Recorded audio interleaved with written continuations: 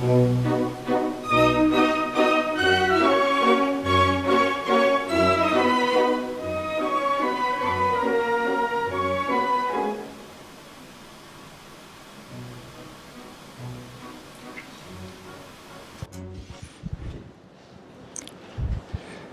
morning, everyone. I'm your host, Sean Glasgow, president of Berkeley Square Speakers. Welcome to a very special occasion in the club's history. We're coming to you live from Berkeley Square, the heart of the Olympic city, London. London is famous for its rain, and this month it's been raining medals. Just here in a few moments, there will be an award beyond medals presented to our very own Andrew Bennett. That's right, the first Distinguished Toastmaster Award in Berkeley Square Speakers history. The reason why I say beyond medals is that on this track, Andrew has completed over 40 speech projects. The Distinguished Toastmaster Award is the crowning gold for completing in their entirety both the communication and leadership tracks. This is a great achievement. This is the highest achievement that you can do in the Toastmaster educational program. So, without further ado, our victory ceremony. Mesdames et messieurs, it is my great pleasure and privilege to introduce to you a special guest to present the award, our own area governor, Mr. Ash Sethi.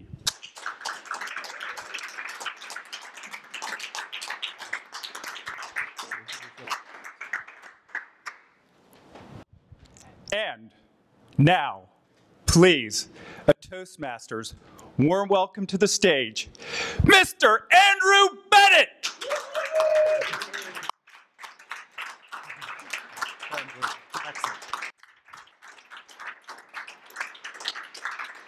The plaque will now be presented to Andrew by Ash Sethi.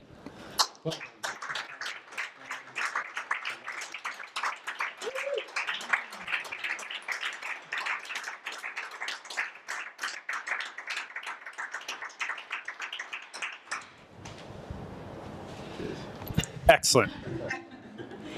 Thank you, thank you, Ash. Thank you.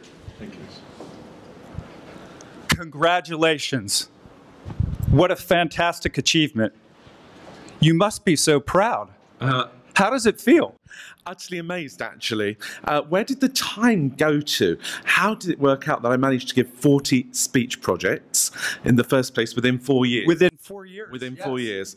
Uh, part of it was because I was belonging to two public speaking clubs, which gave me more opportunities. Also, for the leadership awards, I was able to take advantage of leadership opportunities very quickly, presidencies and area governorships, which helped me to move up the system. But uh, it's been pretty staggering, actually, when I look back. Yes. So, so has has the journey been worth it? Oh, more than worth it. I think we're always working to develop ourselves within our clubs as leaders and as public speakers. And it's been very, very exciting also to watch everybody else growing alongside me. You know, an award like this really is an award for our whole club because every time somebody gives you an evaluation, every time somebody gives you a piece of advice, then they are really helping you towards this award. So perhaps the idea of basking in glory, which has been the theme of our meeting this morning, is very, very aptly chosen. I think everybody. So, so, so you look at it very much as being a team sport and also an award for the team. Absolutely. Toastmasters meetings are a collective practice. We meet together, we help each other to grow as speakers and leaders, and therefore any award that we receive reflects the work of the others too. Excellent. So now that you've got the high award, the Distinguished Toastmaster Award, is, is that Andrew? Are you are you are you done? Are you just going to put your plaque on the wall now, or what's next? Not quite. It doesn't quite work like that. A, because we always need to practice. I've got a couple of schemes in mind. One is that I'm becoming mentor of London's first French language club, which is going to be called Experience French. And there I'm going to completely redo the Competent Communicator Award, the very first one, but I'm going to do it in French. So that's number one. Fantastic. number two, number two is that Toastmasters had a program called the Accredited Public Speaker Program.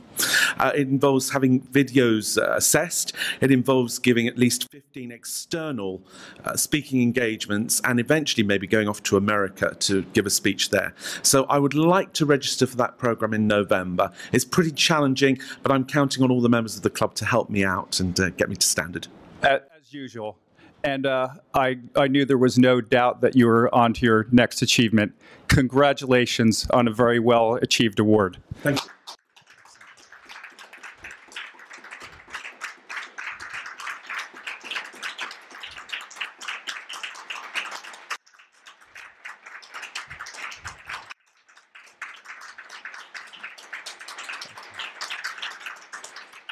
Ladies, ladies and gentlemen, our champion, Andrew Bennett. Now, one, thank you, Irene.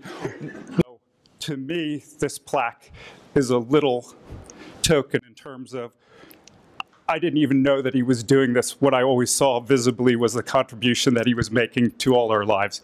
Andrew, thank you so much. Let's give him a warm round of applause terms of the meeting. And, and one thing I really liked was um, he recognised success, really, because uh, that's what it's about, so really, recognition of success, uh, recognition of awards. But the highest award you can really achieve in Toastmasters, that of the Distinguished Toastmaster Award, and, and the way he presented that was warmth. I almost had a tear in my eye because that was genuine, really where it came from. Um, and, it, and, it is such an awesome award, and to hear Andrew talk about 40 speeches in the space of two years, and, and you know, all of us are going through that ranks, and, and it was a great pleasure and privilege for me, really, to, to be asked to come and present the award to, to a man I have a tremendous amount of respect. We're not done with awards yet. First off, Felix, big congratulations.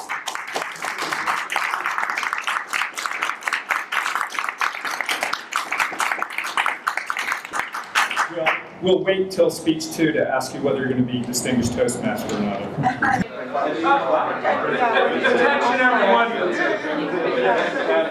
Attention, everyone. One second. I forgot one very, very important piece of business. Could we all please give a round of applause to George, who's been here since 6 o'clock? Oh,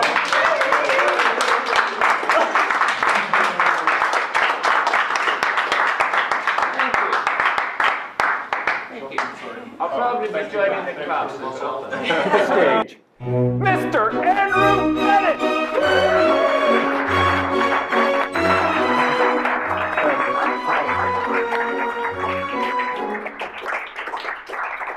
The plaque will now be presented to Andrew by Ash Sethi. Well done.